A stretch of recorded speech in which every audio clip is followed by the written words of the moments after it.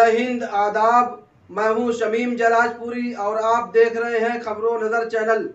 सबसे तेज़ और ताज़ा समाचार देखने के लिए बने रहिए हमारे साथ।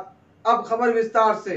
इस खबर के प्रायोजक Niswa inter college, English medium, Paharpur, शहर आजमगढ़ में एडमिशन शुरू। अच्छी तालीम के लिए अपनी बच्चियों का एडमिशन कराएँ और उनका भविष्य उज्जवल बनाएँ। मैं शमीम जराजपुरी आज किसानों की समस्याओं पर चर्चा करने जा रहा हूँ।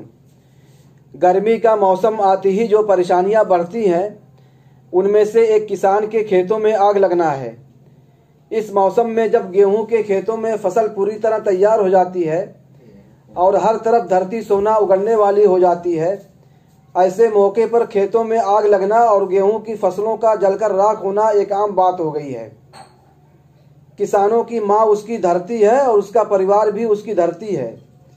और जब ये परिवार तबाह होता है तो किसान की सारी दुनिया तबाह हो जाती है।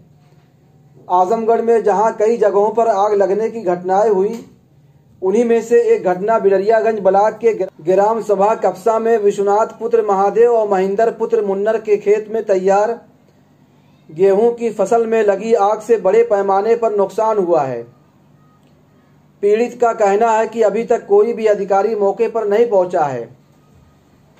शासन प्रशासन को चाहिए कि जहाँ जहाँ भी इस तरह की घटनाएँ हुई हैं, उसकी जाँच कराकर इतना मुआवजा देना चाहिए कि किसान की दुनिया फिर से आबाद हो सके और उसकी खेती का मुआवजा उसे ज़िंदा रख सके।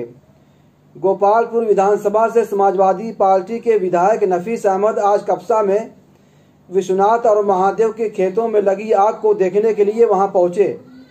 और शासन प्रशासन से उचित मुआवजा देने की मांग की।